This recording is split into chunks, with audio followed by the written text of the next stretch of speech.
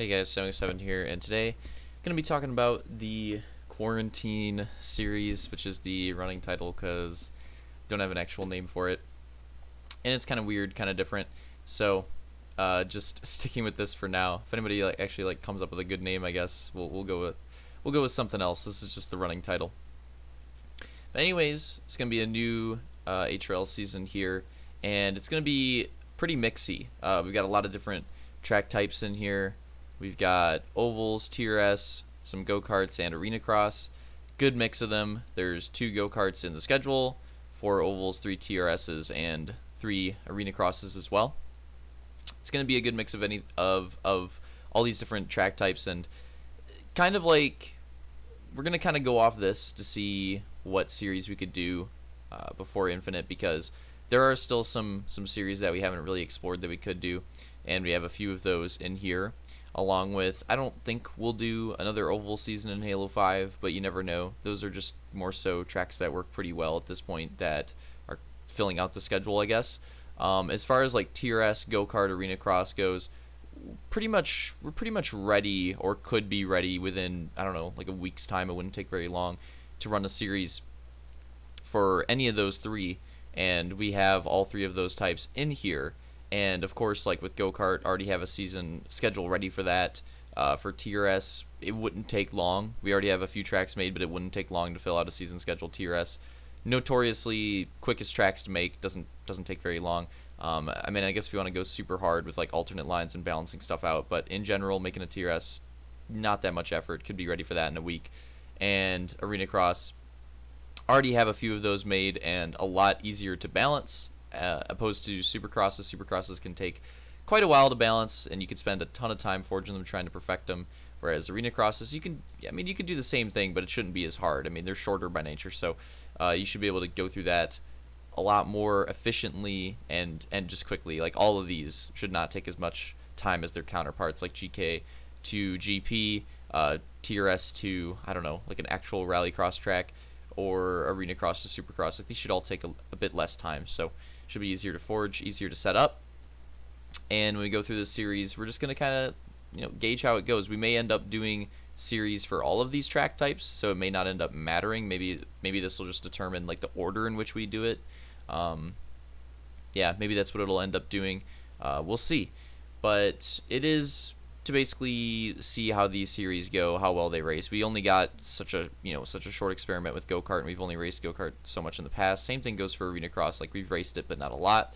And as far as TRS goes in Halo 5, completely unexplored territory there. Uh, we've maybe done like a test or two, but yeah, TRS has mostly been Halo 4.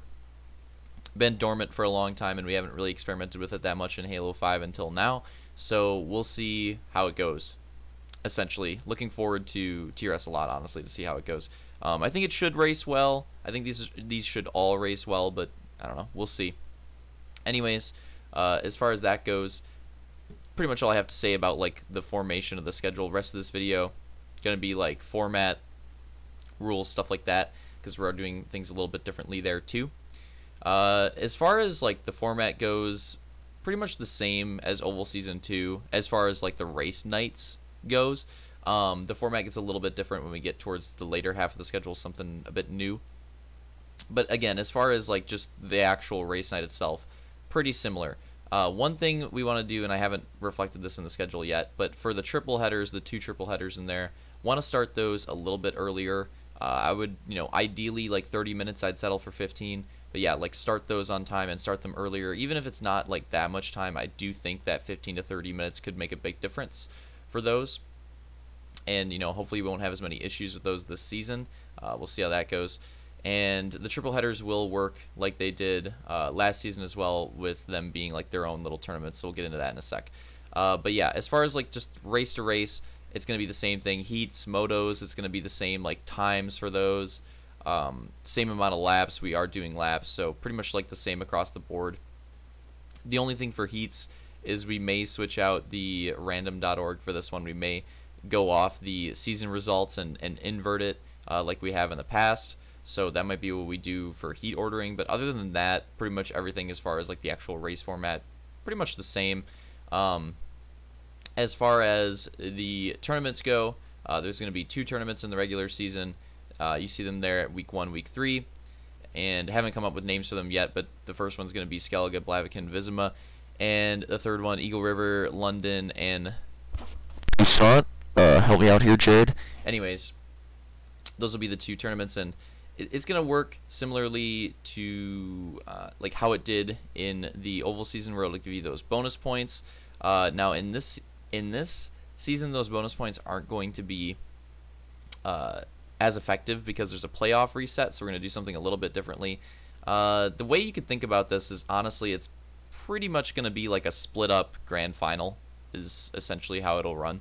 Um, wanted to try try out the playoff format, see how it goes, um, see if it works well. Mostly just wanted to do something different here. Is pretty much what it comes down to. Mostly just wanted to do something different because you know Halo Five, the Halo Infinite's coming this year, so and um, yeah, called it 2020. I don't remember who said it wasn't gonna be 2020. All right, I called this like two years ago. Anyways, um yeah, so we're going to do things a little bit differently with the playoff format. Basically, eight people. We have the round of eight, round of four down here. Eight people going to qualify, eight drivers going to qualify for that round of eight. And then after the round of eight, those top four drivers from the round of eight will make it to the round of four. And then they'll duke it out on those last two tracks. Oh, nice. My, uh, my download started. They'll duke it out on those last two tracks and, uh, and go for the championship. So you may think like, okay, what can you do to help out your chances going into the playoffs, uh, or does it really just like reset for everybody? And how do you get in the top eight? Is there anything besides points? So top eight is gonna go. The priority will be wins will get you in. So moto wins will get you in. Um, so if you're one of those drivers that doesn't show up uh, to enough races, maybe you have difficulties making all the races in the regular season, but you know you can make the playoffs. You can show up to those few races, and if you pull off a win or two, that could secure you uh, into the series. So yeah, winning you're in. The other thing to it will be points. So like how we separate the people with the wins. Like let's say like two drivers outside of the top 10 um, you know, both have two wins, then it'll go by points. And let's be honest here, like practically the way it'll most likely work out is that um, like it'll probably be like some drivers will make it in on the win, um, but then the, like the last few spots will go to will go to like the points standings. So I don't know if we're gonna have too many tiebreakers. That would require a lot of different drivers winning, which I just don't see happening. I mean, it could happen with TRS. Things are get crazy in that. You never know. Um, and like ovals too. You never know. Like the the series that we have here, it could we could see a decent amount of win variety this season. But yeah, like practically, it'll probably come down to points for the most part. Maybe there'll be a driver or two that'll that'll really take advantage of the the win to get in, but we'll we'll see. We'll see how that plays out. But anyways, that's what you got to do. Um, the only way a win will not get you in the series is if again if that many people have wins and your points are bad which again it's a round of eight you know that have to be a lot of different winners so we'll see how that plays out uh, anyways that's how you get into the round of eight now you could get some bonuses to help you out uh, with the round of eight uh, round of four, I want the round of four to be like its own clean slate. So when you get to the round of four, those four drivers will be just all at the same points. They'll duke it out on those two tracks. Um, but as far as the round of eight goes, I, I think I wanted to add some bonuses in there.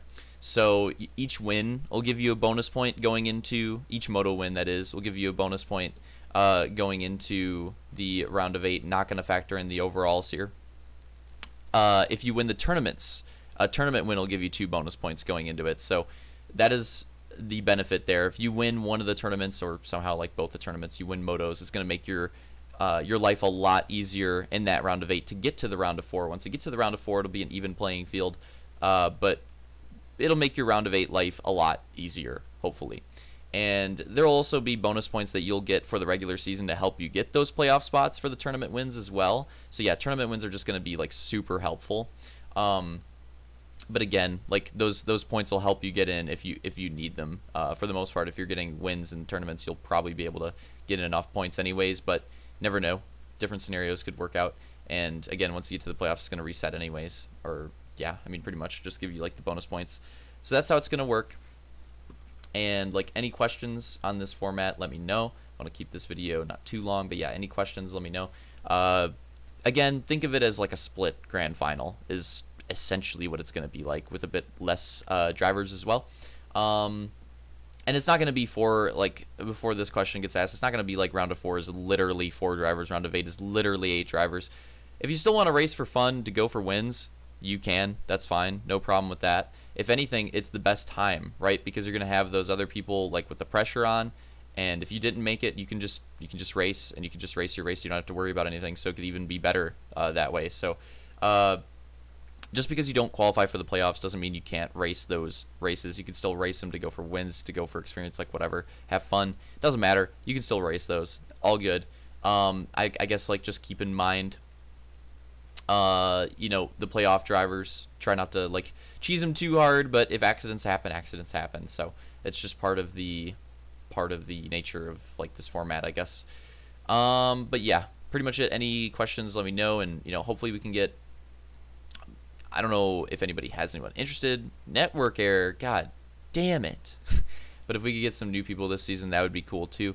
I think that it would be fun to you know get some full lobbies here and and TRS like these types of tracks could be good for some new drivers to like get used to everything. You know, it's not as intimidating as like some of the bigger GP tracks um, some of the bigger supercross tracks that can be take a lot of skill. Like some of those tracks are really difficult. Um, hell, even like the super cushion heavy normal ovals that we race, like Barvo and Chile and stuff like that, can be really intimidating to a new driver. Uh, these tracks are pretty good, pretty good mixes, I think. Um, not only is there a good mix of like the different track types here, but they're also a good mix in terms of like how much skill they take and, and how difficult these tracks are. So, um, yeah, hopefully we can figure that out and looking forward to starting it up and should be a pretty fun season. And you know last oval season was pretty good as far as like how impromptu it was a little bit more prep going into this one. So hopefully this one can be pretty fun um, and be something new to like enrich uh, the halo 5 series before we get into infinite. All right hope you guys enjoyed the video. Any questions let me know and see you next time